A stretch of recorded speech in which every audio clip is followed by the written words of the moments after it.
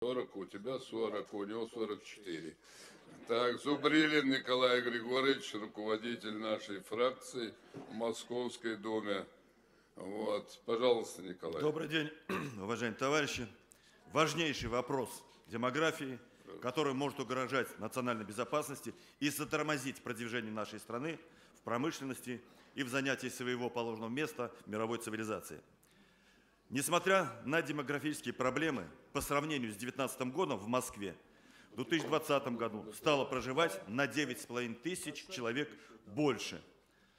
Рождаемость снизилась при этом на 5%, в то время, когда в России в среднем снижение рождаемости составило всего 2%. Неустроенность, тяжелые условия труда и проживания, безработица, невозможность прокормить семью сказываются на количестве разводов. За 2019 год поженились 13 800 семейных пар в Москве. Развелось 11 300 семейных пар. В итоге на всю Москву за год образовалось всего 500 семей. Этого недостаточно для простого воспроизводства поколений. 35% жителей Москвы от 30 до 50 лет. 12% жителей моложе 18 лет – 24% жителей 60 лет и старше. Таким образом, проблема демографии снижает природный ритм естественной смены поколений. Чем это грозит? С уходом из жизни высокообразованного и обученного на практике населения на смену приходят отдельные слои граждан с образованием, полученным в капиталистических условиях, когда можно купить диплом, купить справку, купить результаты зачетов и экзаменов – Низкое качество образования сказывается на трудовых показателях, в том числе и на трудовой дисциплине. Сегодня резко подскочила по сравнению с 90-м годом текучесть кадров. Она стала больше в 7 раз. Разочарование в работе, в уровне зарплаты, конфликты с руководством при отсутствии народного и профсоюзного контроля за работодателями негативно сказываются на каждом трудовом коллективе. Общее снижение социального уровня жизни, рост цен на энергоносители, на зарплату и жилищно-коммунальные платежи, на товары и услуги, на продукты и лекарства уже привели к обеднению населения и процесс продолжает ухудшаться.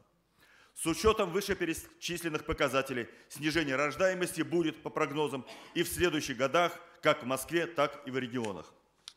Для улучшения демографической обстановки, для увеличения рождаемости – в Москве необходимо увеличивать ежегодные статьи расходов на поддержку малообеспеченных семей, на выплаты многодетным семьям, остановить процессы коммерциализации в образовании и здравоохранении, улучшить качество социальной защиты населения и профинансировать все социальные сферы в полном объеме, профинансировать строительство муниципального жилья для переселения из общежитий, для очередников и молодых семей.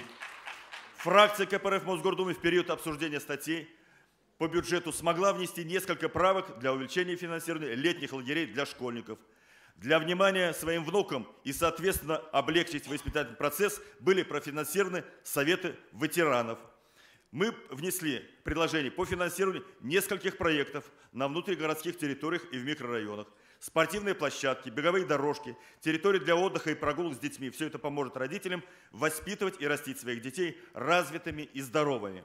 Но создается мнение, что правительство и органы власти стараются усиливать кризисные явления в экономике и в общественной жизни. Им сегодня легко кивать на экономические проблемы, чтобы ни за что не отвечать, ссылаясь на кризис. Никакой ответственности перед народом. Очень удобно устроились чиновники. Они всегда и везде ни при чем. Они так и говорят. Экономика рухнула сама. Экология плохая из-за нехватки денег на профилактику и содержание честных сооружений – Снижение уровня рождаемости они оправдывают тем, что не стоит плодить нищету. А мы им говорим, что власть отвечает за все. Поэтому совершенно очевидно, что сегодня экономический и политический курс ведет страну в тупик. Если говорить откровенно, давно пора отправить правительство в отставку и немедленно сформировать правительство народного доверия во главе с КПРФ. Мы знаем, как надо жить народу России. Достойно и обеспеченно. Компартия три раза спасала страну в 20 веке, и мы сумеем спасти страну и народ в 21 веке и отодвинуть страну от катастрофы, в которую нас ведут олигархи и их представители в руководстве страны.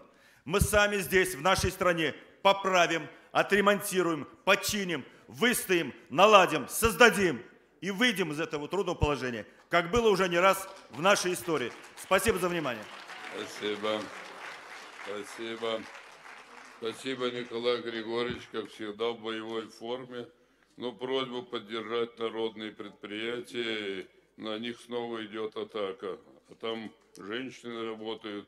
У нас женское движение активно трудится. Я хочу вас от души поблагодарить.